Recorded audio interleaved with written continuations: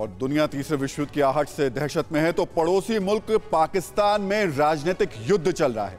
विपक्ष इमरान सरकार के खिलाफ संसद में अविश्वास प्रस्ताव पर मतदान चाहता है।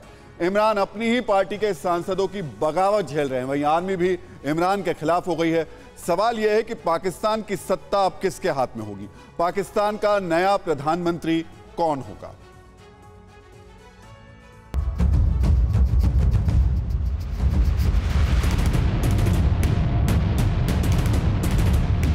पाकिस्तान में सबसे बड़ा सियासी युद्ध चल रहा है। पाकिस्तान के प्रधानमंत्री इमरान खान हैरान हैं, परेशान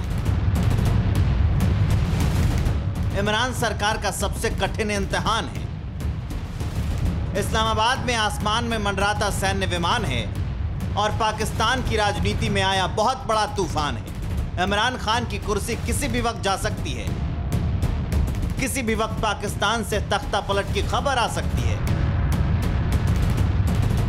रविवार आधी रात को जब पूरी दुनिया सो रही थी, तब पाकिस्तान के सियासी सेंटर इस्लामाबाद की नींद गायब थी। गजब की सियासी हलचल थी। मैराथन मुलाकातों का दौर था, तख्ता पलट की आहट थी। प्रधानमंत्री इमरान खान के चेहरे पर घबराहट थी। आधी रात को इमरान खान ने अपनी लीगल टीम से सलाह मशवरा किया। पाकिस्तान के राष्ट्रपति आरिफ अलवी ने इमरान खान के घर बनी गाला पहुंचकर लंबी बातचीत की। पाकिस्तान की इमरान सरकार चौतरफा घिर चुकी है। इमरान खान की कुर्सी बचाने की लगभग हर कोशिश नाकाम हो चुकी है। विपक्ष इमरान सरकार के खिलाफ हमले शुरू कर चुका है। विपक्ष अविश्वास प्रस्ताव ला चुका है। विपक्षी दलों के नेताओं ने अविश्वास प्रस्ताव पर चर्चा के लिए 25 मार्च को नेशनल असेंबली की बैठक बुलाई। आर्मी पाकिस्तान सरकार के खिलाफ हो चुकी है। पाकिस्तान के आर्मी चीफ बाजवा मानने को तैयार नहीं है। तीन रिटायर्ड जनरल बाजवा को मनाने में नाकाम हो चुके हैं। इमरान की पार्टी के बाकी सांसद इस्लामाबाद के सिंध हाउस में ठहरे हुए हैं। इन तमाम दुश्वारियों के बाद पीएम मोदी की नीति की तारीफ़ कर इमरान खान अपने ही घर में घिर चुके हैं।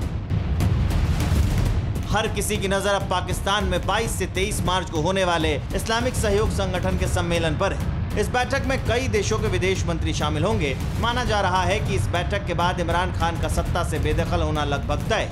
अपनी कुर्सी बचाने के लिए इमरान खान हर हथकंडा अपना रहे हैं। लेकिन इस महीने के आखिरी तक इमरान सरकार की विदाई तय मानी जा रही है। बस समझ लीजिए, बतौर पीएम इमरान खान की सियासी इनिंग का ये लास्ट ओवर चल रहा है। परवाह देश की। सोमवार से शुक्रवार रात 10 बजे टीवी 9 भारतवर्ष पर।